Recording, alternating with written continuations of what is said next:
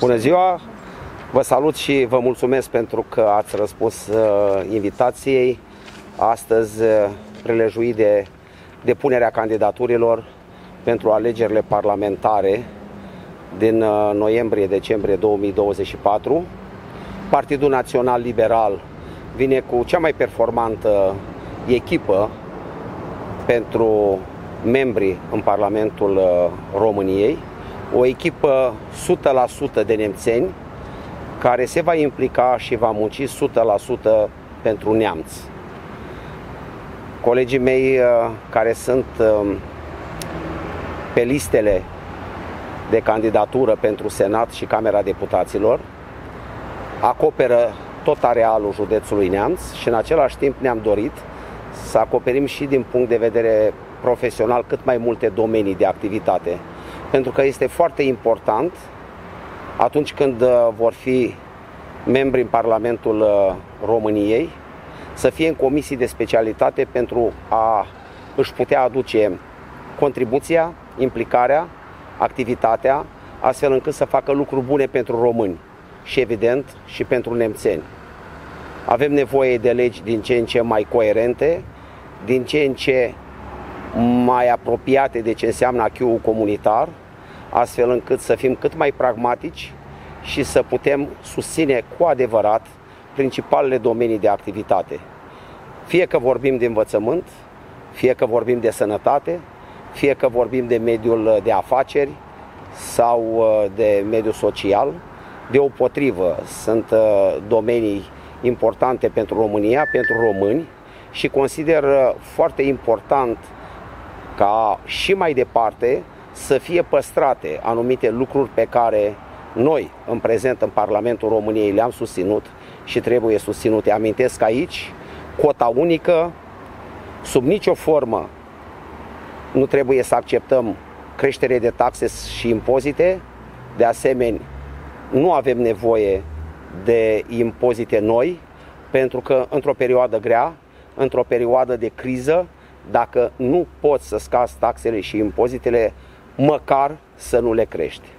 Avem nevoie de predictibilitate pe ce înseamnă codul fiscal, avem nevoie de un cadru legislativ cât mai coerent și lucrurile au început deja să se întâmple atât în domeniul educației, dar mai cu seamă în domeniul sănătății, unde vedem că există sincope destul de mari.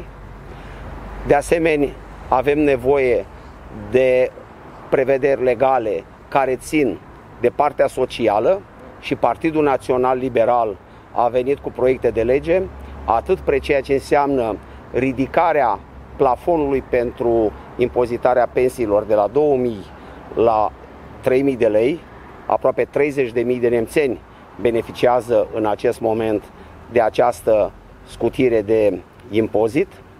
De asemenea, am venit cu o prevedere foarte clară pe ce înseamnă pensiile militarilor și mă refer la actualizarea soldei de grad, un proiect de lege pe care l-am amendat în cadrul Comisiei de Apărare Ordică Publică și Siguranță Națională pe care o prezidez și în prezent și care a fost tras pe dreapta datorită unor, sau din cauza mai bine zis, pentru că din punctul meu de vedere nu produce lucrurile bune pe care ne le-am dori uh, a unui principiu uh, sesizat de Consiliul Legislativ pe principiul bicameralității, și de aceea am venit imediat cu un proiect de lege nou, PLX 540 pe 2024, care să rezolve această problemă. Din păcate, Partidul Social Democrat nu a fost de acord să intrăm în procedură de urgență.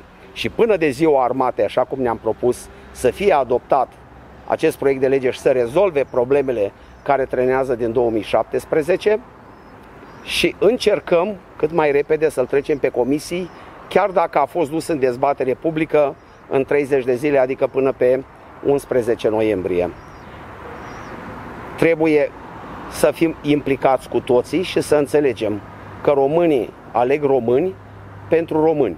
Și acest lucru va fi foarte important ca și deviză a echipei de, uh, pentru Parlament a PNL Neamț.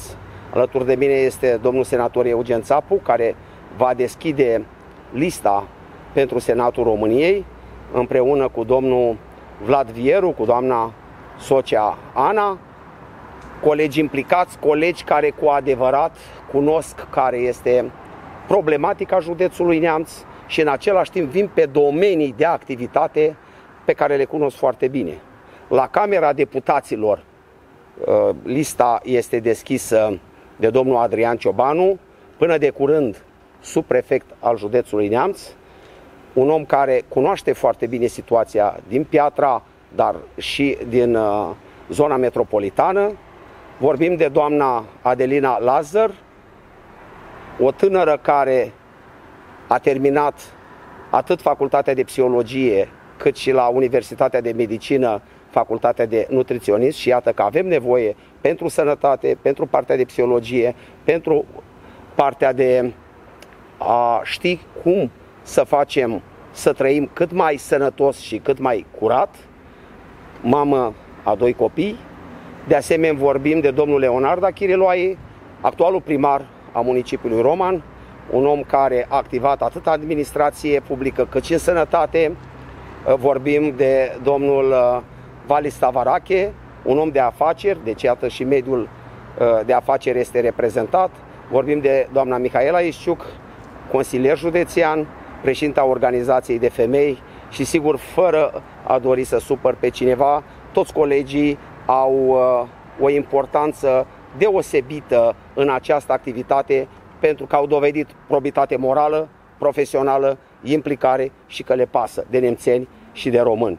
Fie că vorbim de domnul Bogdan Ardeleanu, fie că vorbim de doamna Păiuș, inspector general ajunct de la Inspectoratul Școlar Județean Neamț, uh, fie că vorbim de Laurențiu Crețu, toți sunt oameni uh, implicați, de Lucian Blaga, om de afaceri, un om foarte serios și implicat atât în viața mediului de afaceri, cât și ca camarad în Partidul Național Liberal.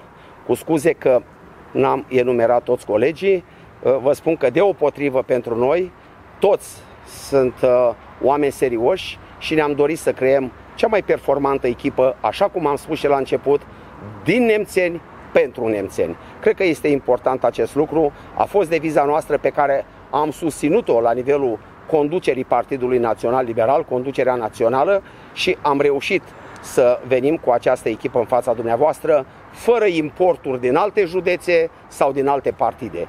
Cred că e un lucru bun care arată coerență, coeziune, pragmatism, onorabilitate și respect pentru nemțeni din partea PNL Neamț. Eu vă mulțumesc, rog pe domnul senator Eugen Țapu să vă adreseze un mesaj. Mulțumesc și eu, vă mulțumesc că sunteți prezenți la declarațiile noastre de presă. Voi fi foarte concis.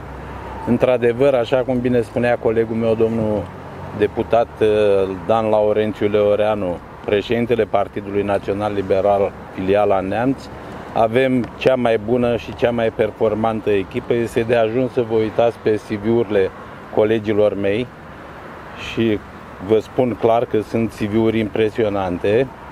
Acoperim tot, tot arealul județului, avem uh, antreprenori, avem ingineri, avem uh, psihologi, avem profesori, avem uh, economiști, avem uh, de toate pentru toți. Uh, de aceea vă spun că avem cea mai bună echipă și cea mai performantă va fi. De asemenea, avem uh, în același timp și cel mai bun candidat la alegerile prezidențiale în persoana domnului președinte Nicolae Ciucă, pentru că toți și colegii mei de la Neamț, dar și domnul Ciucă, măcar și-au făcut școala la timp. Uh, în altă ordine de idei avem câteva obiective foarte clare. Unul este de menținerea cotei unice de impozitare, doi este de înghețarea taxelor pentru anul 2025, trei este un obiectiv foarte serios de reducerea CAS-ului de la 25 la 20%, de asemenea, a amintit și colegul meu un proiect uh, eminamente liberal de neimpozitare a pensiilor sub 3.000 de lei, de care beneficiază peste 24.800 de nemțeni. Uh, un proiect eminamente liberal. Uh, nu în ultimul rând, unul din proiectele pe care le-am inițiat, care face dreptate în rândul angajaților din sectorul privat este cel care a trecut de Senat, de cel cu voucherele de vacanță pentru uh, angajații din sectorul privat, pentru că nu poți să ai în România uh, două tipuri de angajați. Unii de rang 1 și unii de uh, rang secund. Uh, este absolut necesar ca acest proiect care se adresează celor 4,2 milioane de angajați din sectorul privat, dintre care peste 92 de mii uh, sunt nemțeni, să treacă și de Camera Deputaților. Actualmente este blocat de PSD la Camera Deputaților.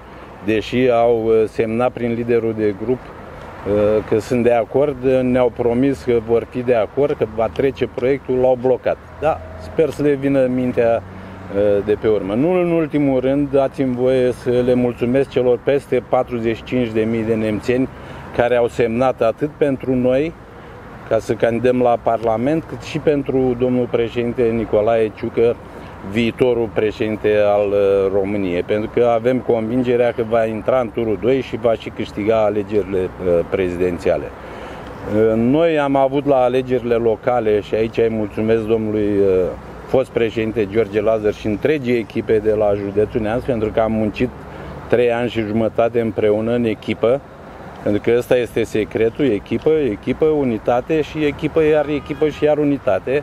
Am avut rezultate excepționale, 41 de primării, am câștigat 417 consilieri, consilieri locali, 14 consilieri județeni. De aceea vă spun că am încredere că la aceste alegeri parlamentare, cât și la prezidențiale, în județul Neamț, Partidul Național Liberal va face o performanță foarte, foarte bună. Vă mulțumesc! Da, vă mulțumesc și eu, domnul senator. Îl invit acum și pe domnul inginer Adrian Ciobanu, cel care deschide lista la Camera Deputaților. Vă rog. Da. Mulțumesc, domnule președinte. Bună ziua, uh, stimați reprezentanți ai, presei, ai presei. Bună ziua, dragi nemțeni. Sunt uh, Adrian Ciobanu și deschid lista de candidați ai Partidului Național Liberal, filiala Neamț, pentru Camera Deputaților. Este o mare onoare pentru mine și în egală măsură o imensă responsabilitate, atât față de colegii mei liberali, echipă din care fac parte cu foarte mare mândrie, cât mai ales față de nemțeni. Îmi asum astăzi în fața dumneavoastră un angajament. Merg în Parlamentul României să fac bine, așa cum am făcut, permiteți-mi vă rog să cred asta, de-a lungul întregii mele cariere. Ca subprefect am bătut județul în lung și în lat, Cunosc oamenii, cunosc problemele cu care se confruntă fiecare comunitate în parte și îmi doresc cu toată ființa mea să pun numărul la rezolvarea acestor probleme, măcar în parte. Vă asigur de întreaga mea considerație și vă asigur că nemțenii pot conta pe mine. Vă mulțumesc din suflet. Vă mulțumesc și eu. Așa cum vă spuneam, astăzi am depus uh, listele cu semnături și tabele cu uh, cei uh, pe care Partidul Național Liberal Neamț i-a nominalizat pentru Parlamentul României. În această toamnă-iarnă, în acest uh, sezon, uh, nu de modă, ci, de, ci electoral, avem alegeri pentru Parlamentul României și alegeri pentru președinția României. Vreau să subliniez și eu că este la fel de important ca să avem un președinte responsabil, onest, cu demnitate, cu onoare, Așa cum e important să avem o echipă redutabilă în Parlamentul României. Aș vrea să vă spun despre președintele Partidului Național Liberal și candidatul la președinția României, că este un om, așa cum s-a spus, în primul rând care și-a făcut școala la timp, un om care a terminat ca șef de promoție Academia de Înalte Studii Militare, un om care și-a început cariera sub drapel, sub jurământ de credință față de patrie și popor, un om care a urcat în ierarhia profesională ajungând de la comandantul batalionului 26 Infanterie Scorpionii Roșii cu participare în teatrele de operațiuni uh, din întreaga lume, ulterior comandantul Divizia 2 Getica, apoi șeful statului major al forțelor terestre, apoi comandantul armatei, fiind uh, șeful uh, SMAP-ului, ministru apărării, prim-ministru al României, în prezent președintele Senatului. Este un om care vine din popor și va fi pentru popor. Este un om care are în spate 34 de ani de carieră profesională și doar 5 ani de politică. Da, într-adevăr, nu este un politician de carieră ci este un profesionist, un om care a atins excelența în domeniul său de activitate. Punând în balanță, vorbim așadar de un om cu 34 de ani de activitate profesională și 5 ani de politică, în timp ce alții au venit cu 5 ani de carieră profesională și 34 sau 35 de ani de politică. Cred că este foarte important, dincolo de a fi uh, un politician bun, care sigur că este un lucru important, ca fiecare să aibă în spate un background profesional de excepție. Lucru pe care Nicolae Ciucă îl are. Așadar, cum vă spuneam, este un om care atunci când promite își ține cuvântul, un om care este implicat, un om care analizează, gândește de două, trei ori și apoi ia decizia, pentru că este foarte important să nu ne jucăm cu soarta românilor. Nu în ultimul rând, președintele României este prin natura funcției și șeful CSAT, a Consiliului Suprem de Apărare a Țării și în același timp comandantul suprem a Forțelor Armate. În acest context geopolitic, destul de complicat, cu război la graniță, vezi conflictul ucrainiano-rus, conflict major în Orientul Mijlociu, cred că este foarte important să avem un om competent, un om care cunoaște problematica, un om care și prin natura funcțiilor deținute, ministru al apărării, ulterior prim-ministru, a fost membru CSAT, un om care cunoaște foarte bine din punct de vedere strategic, geopolitic și militar situația să poată fi la conducerea țării astfel încât oricând să emită puncte de vedere corecte, pertinente și predictibile. Iată ceea ce recomandă pe Nicolae Ciucă pentru președinția României. Așadar, Partidul Național Liberal, astăzi cu o echipă performantă de nemțeni pentru nemțeni, avându-l pe Nicolae Ciucă alături ca și candidat pentru președinția României, urează tuturor nemțenilor gândul cel bun și să aibă încredere. În tot ceea ce facem, încercăm să facem lucruri bune pentru români și pentru nemțeni. Așa să ne ajute Dumnezeu. Vă mulțumesc! Dacă aveți întrebări, vă stăm la dispoziție. Dacă nu, mulțumesc. Care credeți că este acum liste, echipul de candidați pe care PNL față de ceilalți Chiar în uh, debutul acestei prezentări am spus clar că echipa pentru Parlamentul României a Partidului Național Liberal Neamț considerăm că este performantă, în primul rând este autohtonă, pentru că vorbim de o echipă formată din nemțeni 100%, care vor munci și se vor implica pentru neamț 100%, pentru că trăiesc și locuiesc în neamț toți, adică 100%. Faptul că candidații noștri reprezintă mai multe domenii de activitate, am dorit să acopere plajele reprezentate prin comisiile de specialitate din Parlamentul României pentru a putea veni cu inițiative competente care să aducă un plus pentru viața românilor și eventual, sau mai bine zis, uh, chiar ne dorim acest lucru să puncteze un câștig și pentru categoriile socioprofesionale. Este foarte important acest lucru și cred că e un atu important pentru echipa pentru Parlamentul României nominalizată și pentru care am depus astăzi candidaturile a Partidului Național Liberal Neamț. Altcineva dacă... Dacă nu mai sunt întrebări, vă mulțumesc frumos pentru disponibilitate, vă urez o zi frumoasă și să avem succes pentru neamț. Doamne ajută!